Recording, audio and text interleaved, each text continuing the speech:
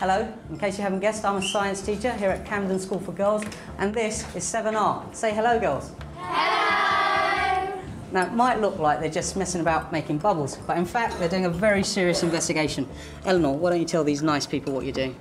Um, we're using three different types of washing up liquid to see which one will make a working bubble solution with the least amount. Good, and, and how are you doing that? Um, I'm going to use the same amount of water to make it a fair test and then each time I will add two millilitres of washing up liquid and then stir it and see if it works. Excellent.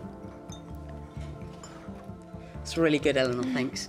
Now, clearly, Eleanor here is an expert with the scientific method, but sadly, not all students believe that science really matters.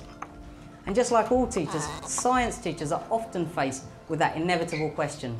What's the point of this?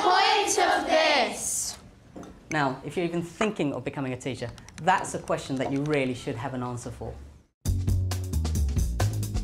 Why is science important? Um, It's quite a, quite a difficult question, I suppose. it's quite a hard question. Um, What a question.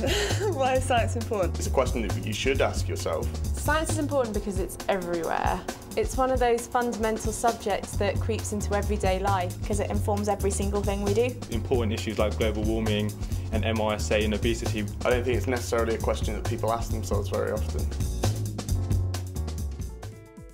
I think that students deserve a really decent answer to this question.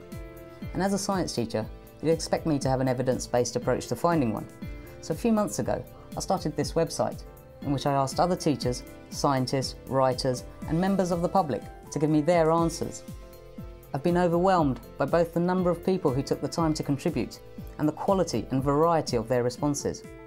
Well, I think it's important because we live in a scientific age and it's important that society understand the science. Knowing how the world really works and finding out by looking at the world is better than just believing what someone tells you or just making up a fancy about it. Well, I think it's the way of arriving at truth about the universe because, taken in its most general sense, science is disciplined uh, inquiry.